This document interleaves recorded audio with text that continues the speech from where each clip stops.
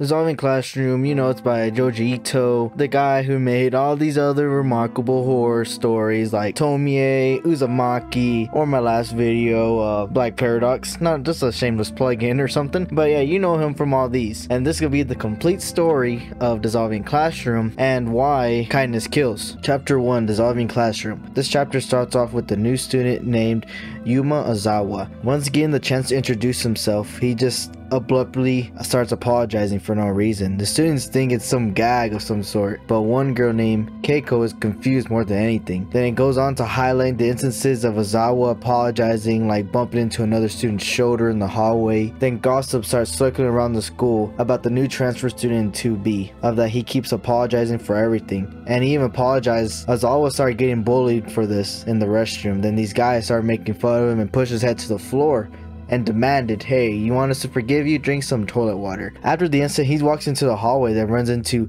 Keiko. She gives him a paper and says, Yuma, you need you need to stop apologizing. You apologize too much. And the first thing he says back to her was like, "Oh, my bad." Apologizes again. Then it cuts to Keiko walking home, but she is followed by some strange girl with a haunting stare on her face. Keiko starts running, but every time she thinks she's gone away, boom, the girl pops up with still that haunting stare. The little girl leaps towards her and says, "Let me suck out your juicy brains." Keiko trying to avoid this runs into the street and gets struck by a truck. She wakes up in the hospital with her parents asking why'd you even jump in traffic to first place and she starts describing the little girl they are wondering who she was then suddenly Azawa opens the door keiko thinking oh it's just a student her classmate here to see if she's okay but he instead came to apologize and they can they're just confused and he reveals that the little girl that was chasing Keiko was his little sister. They drag this conversation into the hallway. Azawa on his knees begging, please, please, you know, apologizing. But Keiko's parents threatening to call the police. He even pleads even more on his hands and knees. And then they finally decide, okay, we're not gonna call the cops, but we need to talk to your parents at least. But Ozawa reveals that their parents passed away and it was just him and his sister. But Ozawa was still calm after that. Day after day apologizing to parents. Keiko would start looking forward to his visitations and that his apologies begin to make her feel relaxed and her mind and her body would just melt away. A week has passed and she finally gets released. She's walking with the Zawa. Then he's like, oh, I'm sorry, it's all my fault. Chizumi, Chizumi, wasn't always like this. She changed because when we were little, my parents were so strict and they would yell at me for everything. He found a way to relieve the stress by killing small animals like bugs, frogs, and snakes. That is a divine wrath that Chizumi was just possessed by a snake that he killed long ago. But not long after that, rumors were going around about some creepy girl stalking women and children. But to prove these rumors true, Ozawa would go apologizing to the victims' houses. Then one time, Keiko witnessed him apologizing and jumped in too to apologize with them, and even asked Ozawa to go to his house because she believes that she can change Chizumi's heart to make her feel good again. Him not wanting this just decides to run away. But Keiko knows where she lives, where they live, knocking first but no response. She just lets herself in and then notices a rotting smell. Then decides to walk through the house. Then boom, Chizumi just pops out and with the bloodshot eyes and asks, "Why are you even here?" And she's like, "Oh, I'm just here to be your friend, Chizumi." And she said, "Well, a true friend will let me slurp out all those brains." Keiko said, "Your brother's been apologizing all around town. What do you think it makes him feel?" And she's like, well, he feels amazing. He feels like he died and gone to heaven. He doesn't apologize to me. He apologizes because he likes it. He gives him pleasure. And that he's hopeless and he killed too many snakes and frogs. Keiko stops her and says, well, he just regrets all that. It was just him trying to re release stress because y'all's parents were so strict. And Chizumi says, nah, it wasn't for stress. It was a ritual to summon the devil and it worked. Because one day he came back from the hills. He was shivering, groaning all night. He didn't apologize to anyone in front of him, but he was praying praying for forgiveness from the devil. And then those apologies began to come with pleasure. Keiko not believing these stories. And she, Chizumi says, you don't believe me? And then she opens this closet door with the two heads of their mother and their dad. And their brains oozing out of their eyes and their mouth and nose. Keiko still not believing this. Just goes home. Her mother calls her down for dinner. Then Kiriko, Keiko notices, hey, there's no food here. She's like, the mother, oh my bad, I, I just been losing my head lately. But they start noticing their nose runny that like they have a code of some sort. But Keiko, Keiko just goes back upstairs. The next day rolls around, and everyone has the same symptoms as her dad and her mom. Runny nose. Ozawa's getting bullied again, so Keiko decides to stand up for him, but once the bullies turn around, their eyes and their nose were oozing out the brain substance.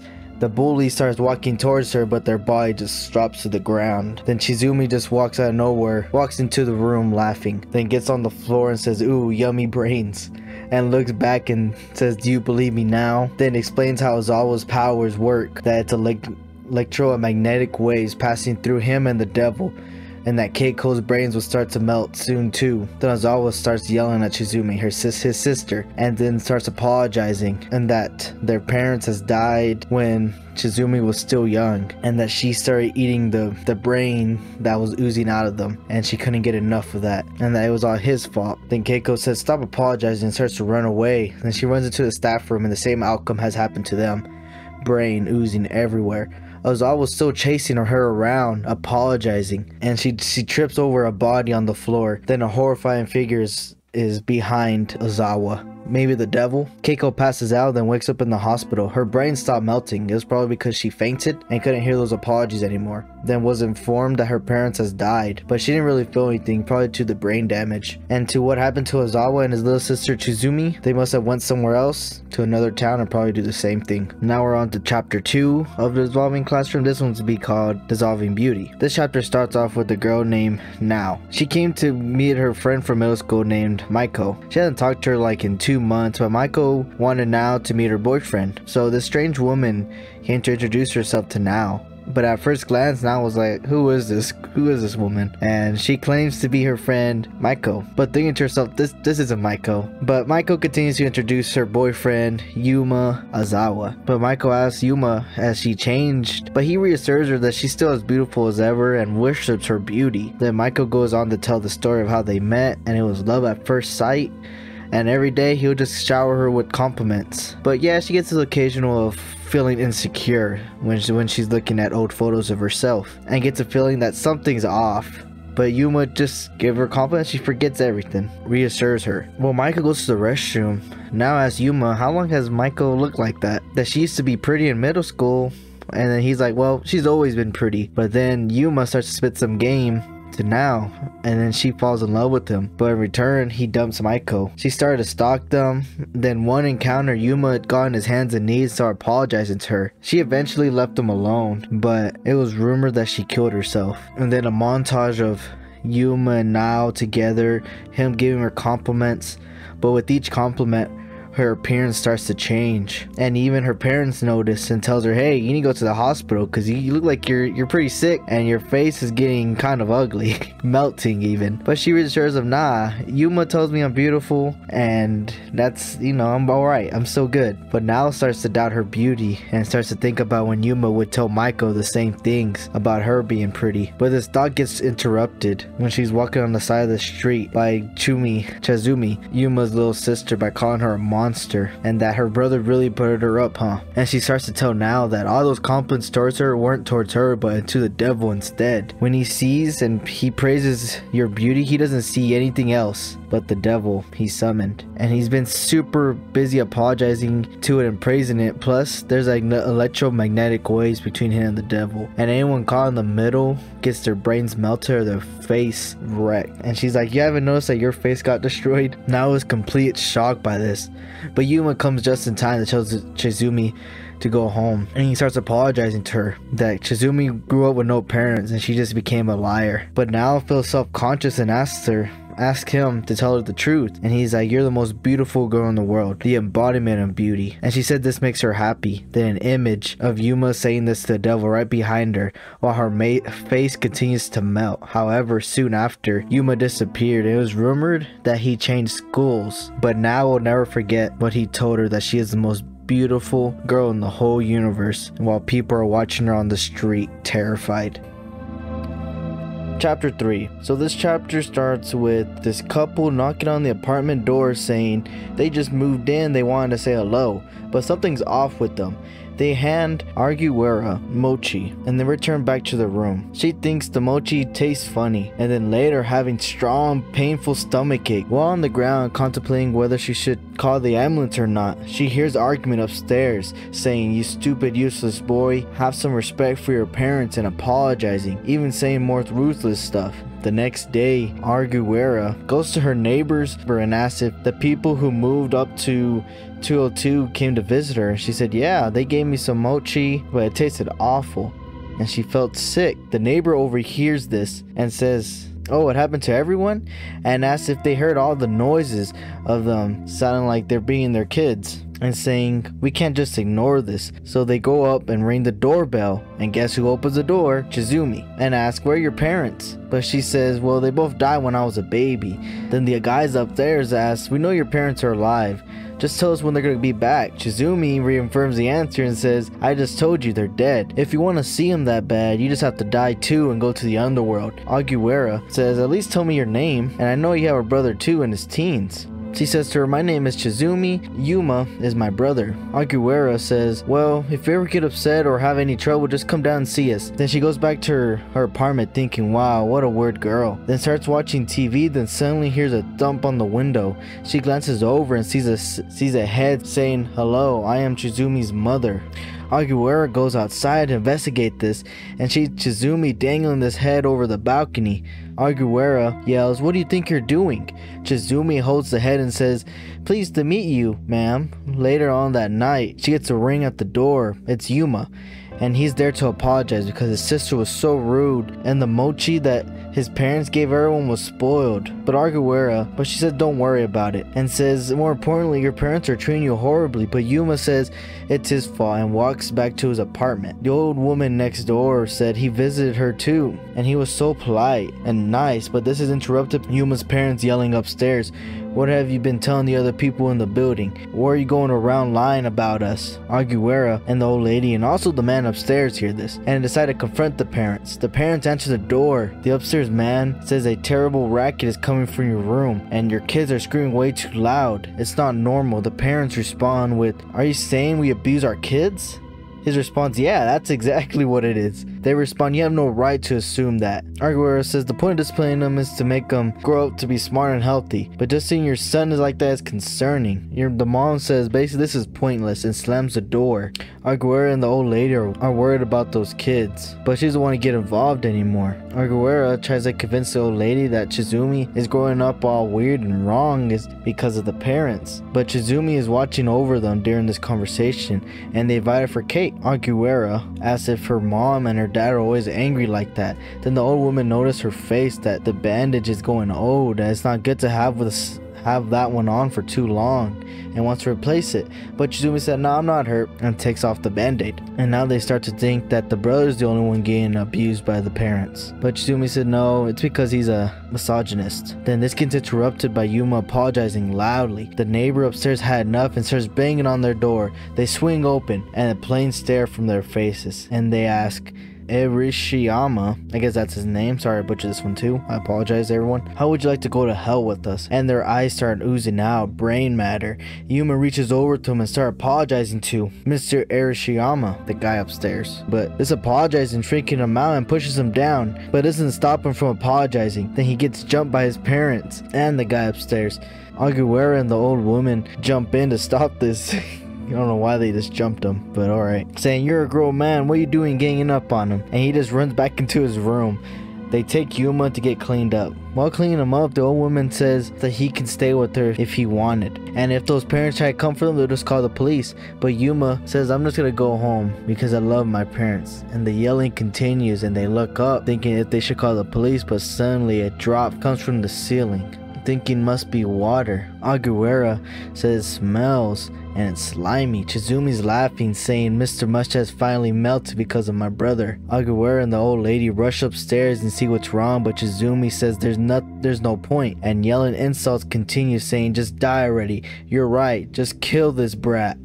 They rush in. Yuma's on the ground being held by his parents, or these people at this point, I guess because they're dead. But, anyways, the mom says, Move, dear, and they begin to melt instantly. Aguera and the old lady are shocked, and Chizumi explains that her brother is possessed by the devil, and if they get involved with him, bad things will happen to you. Mama and Papa died long ago, but he keeps calling them back from hell, and they melt again over and over and over, and they begin to melt as well. I guess it's time for them to move again.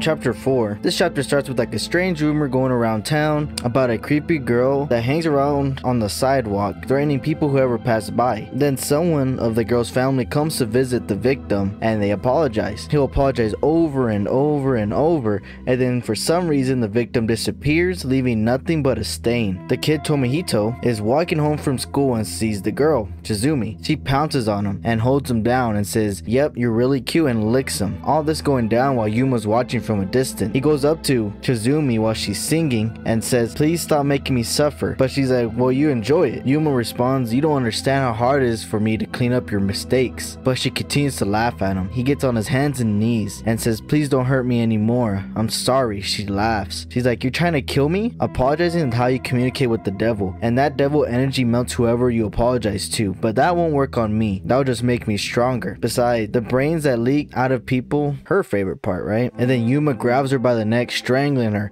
and saying, It's your fault. My life is so messed up. Just die. The world is better off. Chizumi's last effort, she starts scratching at his arms, and he finally lets her go. She's still laughing, and Yuma says, Well, you're awfully in a good mood today. Did something happen? Maybe you're in love? Tomohito sorry for butchering this name too, comes home and his mother asks if something happened to you on the way home because this young man came by. Got on his hands and knees and started apologizing, saying, I'm sorry for my sister's behavior. Tomohito tells her, don't open the door if he comes back because if he apologizes to you, you end up disappearing and nothing will be left but a stain. But she doesn't believe it, of course, and asks, who is this girl? But he just shrugs it off and tells her, she's just messing with me. So she plans to talk about this more when his father comes home and they'll call the police. Tomohito is thinking maybe she's the girl from that ghost story. But the dad finally arrives. He comes home and says he met the guy on the street. He had his face in the ground, apologizing for what his sister did. They start discussing it. They even feel bad for the guy, so they won't get the police involved. But if anything else happens, they'll just call the parent. The next morning, Tomohito didn't go to school because he didn't feel well. But he wakes up to someone apologizing, and his mother's asking where they lived and what his name was. But he continues to apologize over and over. They're in a living room setting,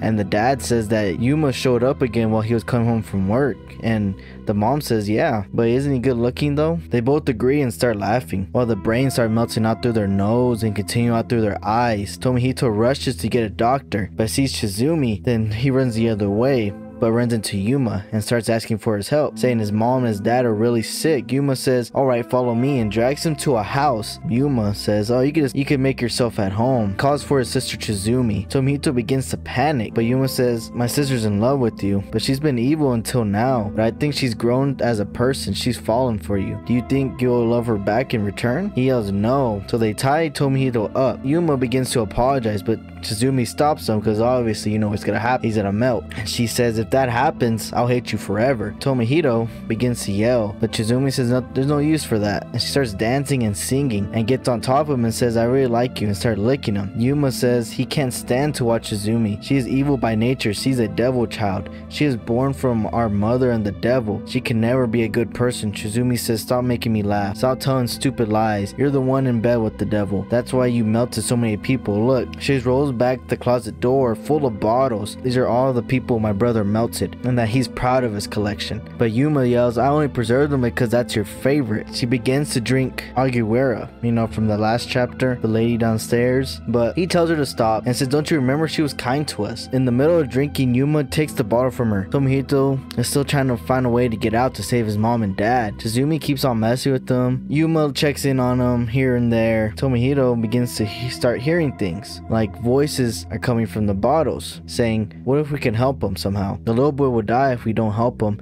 He'll melt and just end up like us. We must do something. So they tip over and start spilling all over the floor and begin to completely cover Tomohito. And they speak again and they say, Hurry quickly before they notice. Use our grease to slip out of the ropes. Tomohito finally escapes, but he says when he was running, he felt like someone was chasing him. So he ran like his life was on the line. He finally got to the police, but they told him his mom and his dad were already gone. Nothing but stains, and that little house was totally empty. Final chapter. A man and a girl that you recognize from the first chapter, Keiko, is now in a wheelchair. They stumble across a house, and the man decides to go inside. But once opening the door, he smells something rotten. Yuma comes out of nowhere and introduces himself to the man, and we come to find out this man's name is Himoka, and says that he's with the Daily News, and he came to ask some questions. Yuma agrees, and the first question he asks if he remembers the incident a couple years ago that happened at a high school in Tochigi, where a large number of students and teachers died, and the way they died is said that their brains have melted. The theory is that it was some kind of pathogen, but it was never confirmed. And he further elaborates, it seems similar circumstances have been happening across the country, and also thinks that the recent disappearances in the news are connected. But Yuma asks, why, why are you asking me this? He brings him outside and asks if he recognizes the girl, the one wheelchair. He said he doesn't, but Himaka begins to explain that she's a survivor of that high school and her brain is badly damaged, but she's unable to talk. But the only words that she's able to say is Yuma, so they came looking for him. So hopefully he'll be able to explain some of the events. So he's like, oh yeah. He's like, wow, she was so nice to me. And he was like, how are you able to find me? It's strange because Keiko just knew where to look. Yuma begins walking toward Keiko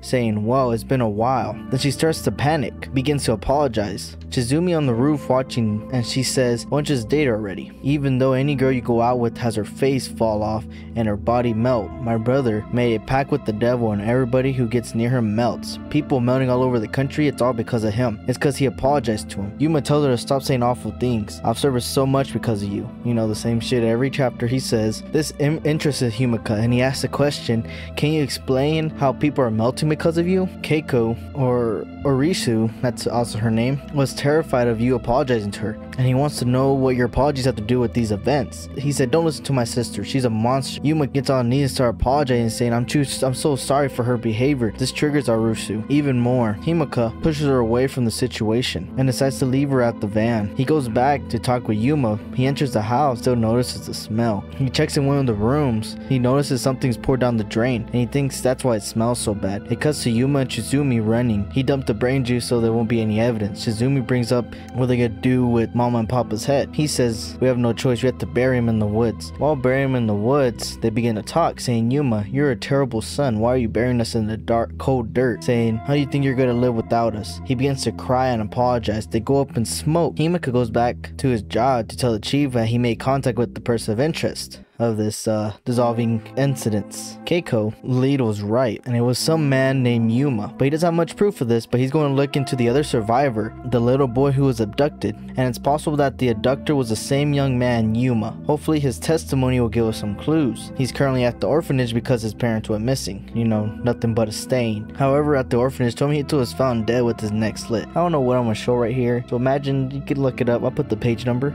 alright? So Himaka tells the chief this, but the chief thinks that it's Yuma. But but Himaka tells him that Yuma has an alibi because he was at the state office yesterday with his sister. So chief's like, "What's your source?" Well, he asked Kira Keiko where he went, and then he called the real estate office in that area and they think she's a psychic because her hunches end up leading them to Yuma and his sister. This is probably because that she's a survivor of the dissolving classroom incident and sustained some brain damage. She have gained some special powers. So they visit her at the hospital and they ask where Yuma's at and she points on the map. They're in the forest. Wait, they're in the forest due to not being able to get a house, but while sleeping, Yuma hears voices such as, Do you know how much you hurt hurt us? We'll never forgive you. How much did it did it hurt to be turned into slime and poured down the drain? He runs out of the tent and he runs into Himaka. Yuma's like, What are you doing here? He just wanted to talk because the other day the little boy was murdered at the orphanage and he could have gave an important testimony and tracked down he tracked down the other people who said that they uh, they know you all over the country. And in the last few days he lost contact with them. Also, he looked into this and it turned out that all died under various circumstances. They disappeared. He's not accusing him of doing these things, but the whole country is shooken up. The disappearances and dissolving humans, he wants Yuma to explain this, and he intends to publish a scoop in the news soon. Yuma says if you don't tell him, public opinion will take form. So he says, just tell me if you're innocent or not. Yuma claims that he doesn't know anything and begins to apologize to Himaka. And he says it's not going to work. He doesn't believe in this type of stuff about people melting just by apologizing. And besides, his editor already has a story and is ready to publish even if he dies. Also, Keiko is determined to keep On discovering his location, Yuma runs back into a tent and picks up Chizumi and gets away. While they run, Himeka yells, If you change your mind, just come back and find him. So two days passed. As promised, the article was published and it was on the front page. It caused quite a stir, but the next day they show up to the lobby. Himeka tells the chief just to send him to the conference hall because he's with Keiko. At the hospital, Himeka tells Keiko that he's going to have a press conference at 3 at the hotel and they'll be broadcast and live stream all over the country and saying that this is all according to plan he wants to wants to thank her for the help. But in the end we're not able to understand each other were we? Mr moore didn't pick up on the farce with the map. His face becomes uncanny and says that it took you too long and says i'll take you along too. It should be fun. A little public apology. His appearance changes to something demonic like the devil in the first chapter that yuma made a deal with. They arrive at the press conference and the chief starts to introduce himself but he's cut off Yuma yelling, saying he's very starving, and continuing to use multiple apologies. Chizumi cheers him on, the press thinking that this is some kind of confession. Himeka, or the devil now, is saying, wow, he's excited. He's giving off so much energy. In the media, the media and everyone that's there starts to melt, brain oozing out their eyes, their mouth. Keiko gets up from her chair and yells stop, then suddenly she's completely liquefied. Chizumi starts to lick the ground where she melted at. A voice starts to be heard, saying you won't get away with this. Yuma looks up and the brain sludge begins to form on the ceiling. Big globs of slime fall down and completely bury Chizumi and Yuma. Then suddenly the devil appears in front of the city and the captions read that the terrible spectacle and tr that transpired at the press conference was spread all over the world by the media. As for what happened to the people who watched it and where Yuma and some things are now, would that leave to your imagination?